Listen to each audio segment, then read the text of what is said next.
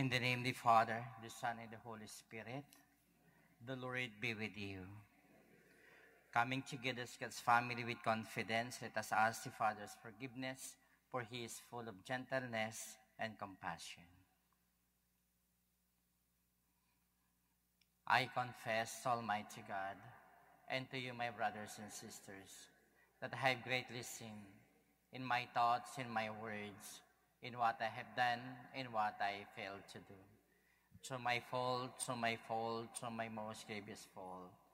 Therefore I ask Blessed Mary, ever Virgin, all the angels and saints, and you, my brothers and sisters, to pray for me to the Lord our God. May Almighty God have mercy on us, forgive us our sins, and bring us to everlasting life. Let us pray. May your grace not forsake us, O Lord, we pray, but make us dedicated to your holy service, and at all times obtain for us your help. Through Lord Jesus Christ, our Son, who lives and reigns with you in the unity of the Holy Spirit, God, forever and ever.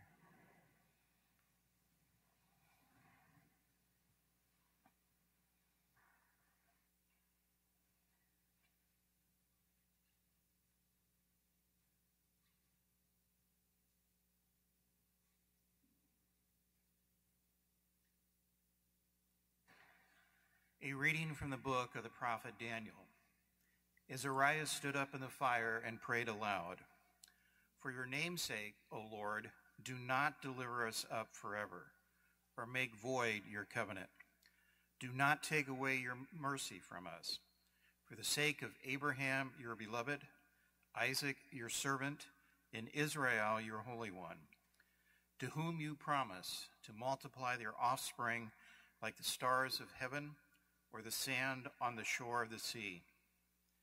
For we are reduced, O Lord, beyond any other nation, brought low everywhere in the world in this day because of our sins. We have in our day no prince, prophet, or leader, no burnt offering, sacrifice, oblation, or incense, no place to offer first fruits, to find favor with you.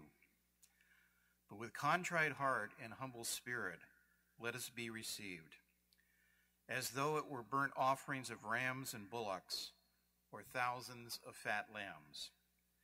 So let our sacrifice be in your presence today as we follow you unreservedly. For those who trust in you cannot be put to shame. And now we follow you with our whole heart. We fear you and we pray to you. Do not let us be put to shame, but deal with us in your kindness and great mercy. Deliver us by your wonders and bring glory to your name, O Lord. The word of the Lord. Remember your mercies, O Lord. Remember your mercies, O Lord.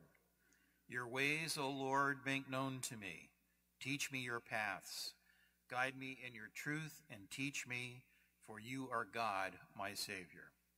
Remember your mercies, O Lord. Remember that your compassion, O Lord, and your kindness are from of old. In your kindness remember me because of your goodness, O Lord. Remember your mercies, O Lord. Good and upright is the Lord. Thus he shows sinners the way. He guides the humble to justice. He teaches the humble his way. Remember your mercies, O Lord.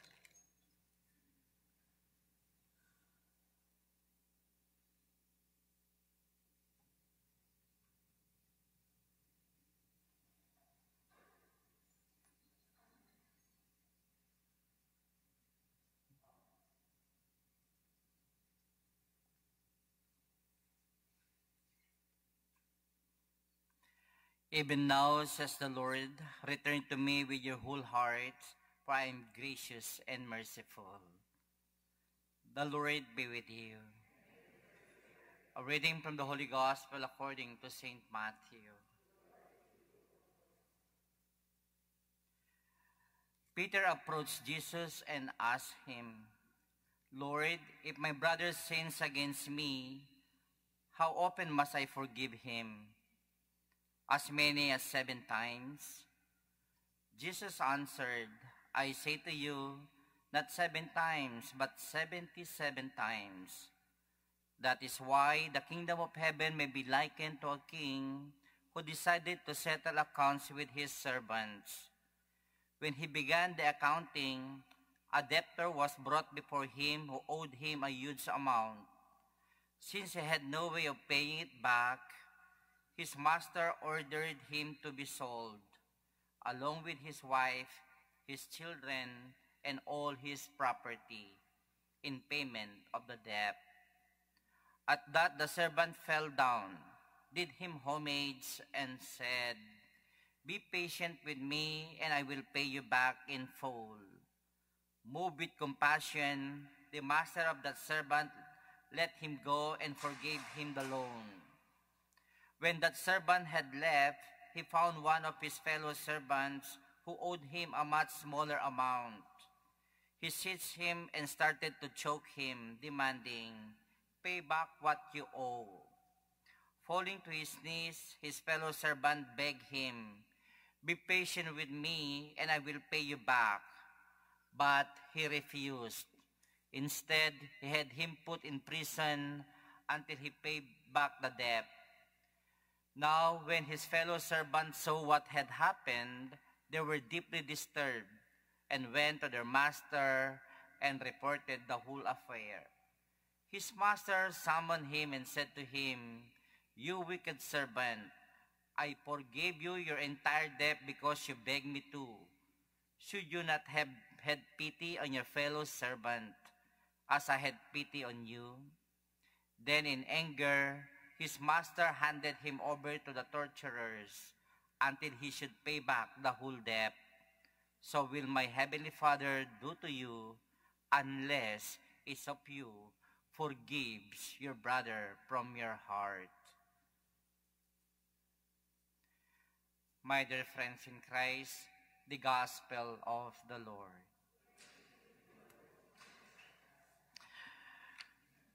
Good morning, my dear friends. Do you have a problem when it comes to forgiving someone? Why is it that it's hard for us to forgive those who have wronged us? Why can't we just learn to forgive and forget and be humble those who hurt us? It's because of our pride and selfishness. We cannot take it in our minds and our hearts that those people who hurt us will just let it go, that they will be free of our hatred. For us, they should suffer the way we did, or much worse, than what we feel. We are selfish because we just think of ourselves and what it costs us. We did not think that we are also hurting Jesus if we do not forgive our brothers and sisters. If we truly love and follow Jesus, we will be a forgiving person, no matter how big or small or how deep the pain in our hearts, we will let it go. Jesus told Peter in today's gospel to forgive those who have sinned against them, not just seven times, but 77 times. It is not a literal number.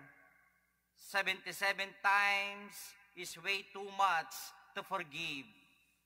77 times is way too many times because Jesus means that forgiveness should never be counted and it is never ending. If we truly are followers and believers of Jesus and His words, this is easy for us To forgive is not hard. The Lord forgives us many times for our sins. We should also learn to ask for forgiveness. Be humble and be grateful to Jesus for forgiving you. Give someone a chance to ask for forgiveness. And may the Lord give you the grace to forgive someone today. Remember this, my dear friends in Christ. When we forgive, we free ourselves from the imprisonment of anger and hatred. Just imagine if we have anger in our hearts, we carry this burden that does not good to us except to heighten our blood pressure, cholesterol, diabetes, etc., etc. Then, soon, go to the hospital and worse, you will die just because of your anger in your heart.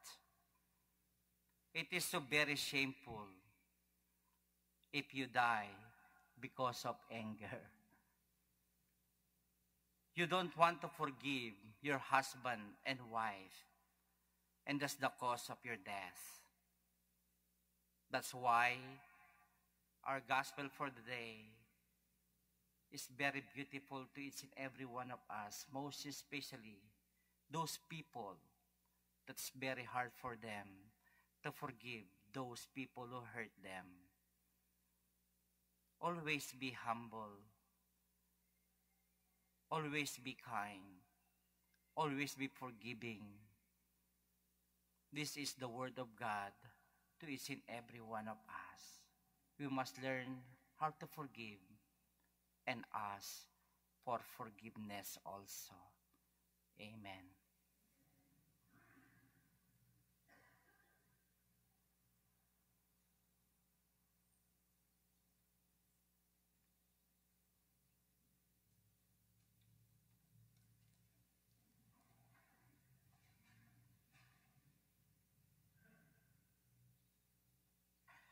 With contrite hearts and humble spirits, we present our prayers to our merciful Lord. That the grace of the Holy Spirit may continue to sanctify the church and bring healing where needed. Let us pray to the Lord. That the mercies of God may inspire forgiveness and reconciliation among nations. Let us pray to the Lord that Christ our healer may look graciously upon all who have suffered from the coronavirus and its effects. Let us pray to the Lord. But the Lord may continue to grow in joy and faith those are preparing to be baptized into Christ's holy church at the Easter Vigil. Let us pray to the Lord that our Heavenly Father may have mercy upon the souls of all who have died and bring them to everlasting life. Let us pray to the Lord. We also include in this Holy Mass for the souls of Shirley Ebreo, Carla Beckman, Ruben Miguel Aurea and Manny, and all the souls in purgatory. We pray also our frontliners and those who died just because of this pandemic those who got the virus. We pray also our brothers and sisters who are sick. Let us pray for their speedily recovery, more especially Vincent Paul and uh, Jiro Pule. We pray also those who have cancer and those who are dying this very moment. Our brothers and sisters who suffered a lot. Those who have a lot of problems like family problems, psychological problems, and financial problems, let us pray for them to the Lord. In the silence of our hearts, let us pray for our personal intention.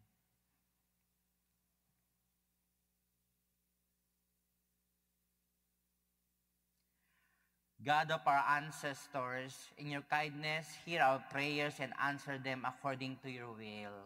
We ask this through Christ our Lord.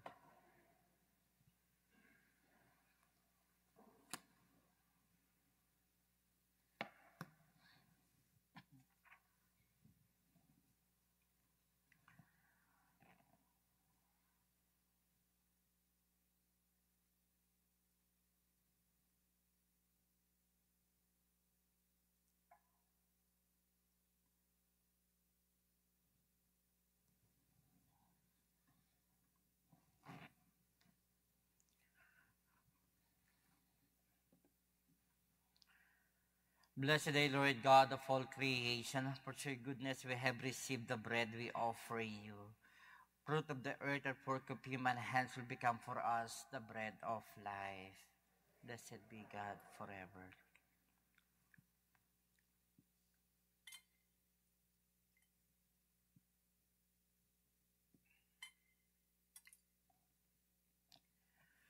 Blessed day, Lord God of all creation, for your goodness we have received the wine we offer you. Of the vine work of human hands will become for us our spiritual drink.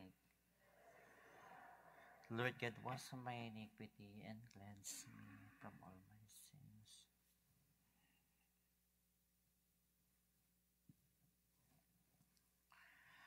Pray, my brothers and sisters, that our sacrifice may be acceptable to God, to Almighty Father. For the praise and the glory of His name, for good and the good of all His church. Grant us, O Lord, we pray that this saving sacrifice may cleanse us of our faults and become an oblation pleasing to your almighty power. We ask this through Christ our Lord. The Lord be with you. Lift up your hearts. Let us give thanks to the Lord our God. It is so truly right and just, our duty and our salvation, always and everywhere to give you thanks, Lord, Holy Father, Almighty, Eternal God. For you have given your children a sacred time for the renewing, purifying of their hearts, that freed from disordered affections, they may so deal with the things of this passing world as to hold rather to the things that eternally endure. And so with all the angels and all the saints, we praise you as without end. We acclaim. Holy, holy, holy, Lord God of hosts, heaven and earth are full of your glory. Hosanna in the highest. Blessed is he who comes in the name of the Lord. Hosanna in the highest. You are indeed holy, O Lord, the fount of all holiness. Make holy, therefore, these gifts, we pray, by sending down your Spirit upon them like the dew fall, so that they may become for us the body and blood of our Lord Jesus Christ. At the time he was betrayed and entered willing to his passion, he took bread and giving thanks, broke it, and gave it to his disciples, saying, Take this, all of you, and eat of it. For this is my body, which will be given up for you.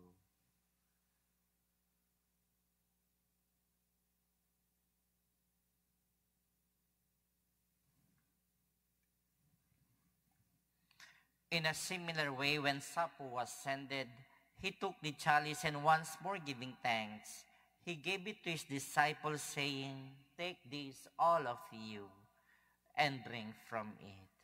For this is the chalice of my blood, the blood of the new eternal covenant, which will be poured out for you and for many for the forgiveness of sins. Do this in memory of me.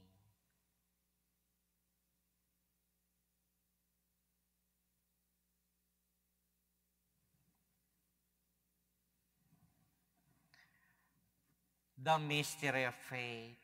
When we eat this bread and drink this cup, we proclaim your death, O Lord, until you come again.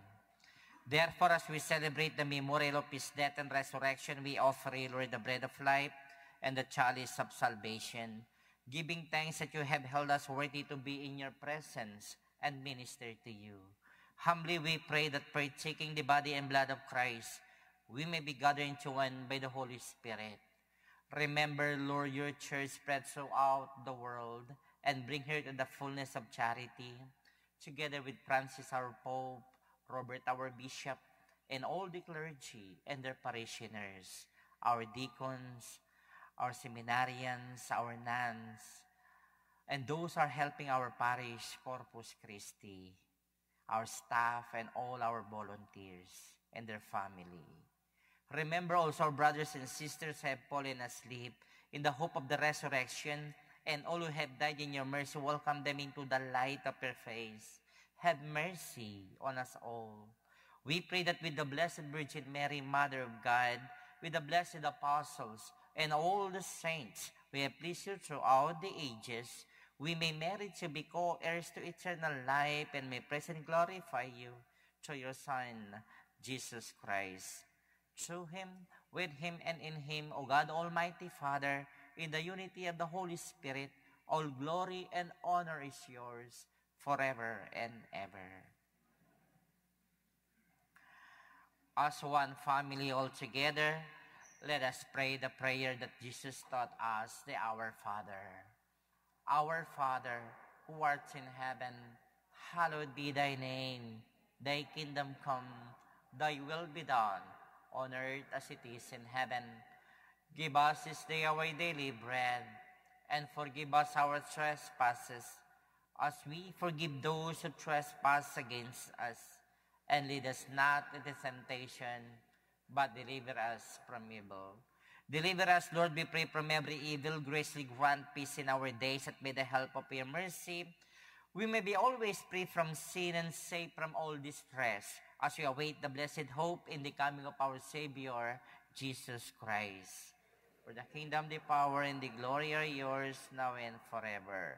Lord Jesus Christ, who said to your apostles, Peace I leave you, my peace I give you. Look not on our sins, but on the faith of your church, and graciously grant her peace and unity in accordance with your will, who live and reign forever and ever. The peace of the Lord be with you always.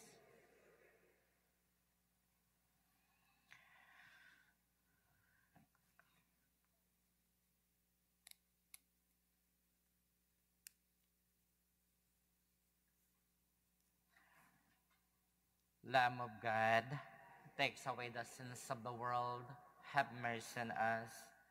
Lamb of God, who takes away the sins of the world, have mercy on us.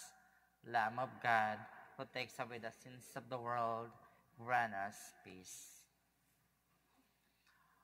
My dear friends in Christ, this is the Lamb of God who takes away the sins of the world. Happy are those who are called to his supper. Lord, I'm not worthy that you should enter under my roof, but only say the word, my soul shall be healed. May the body and blood of Christ bring us to everlasting life.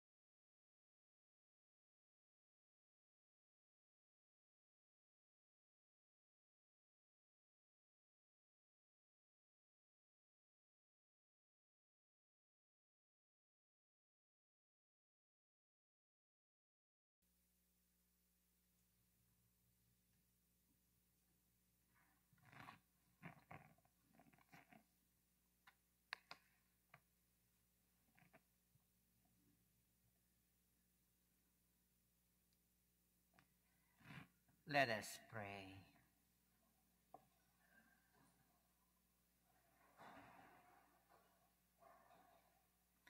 May the holy partaking of this mystery give us life, O Lord, we pray, and grant us both pardon and protection through Christ our Lord. The Lord be with you. May Almighty God bless you all, Father, Son, and the Holy Spirit. The Holy Mass and then go and forgive and forget. Thanks be to God.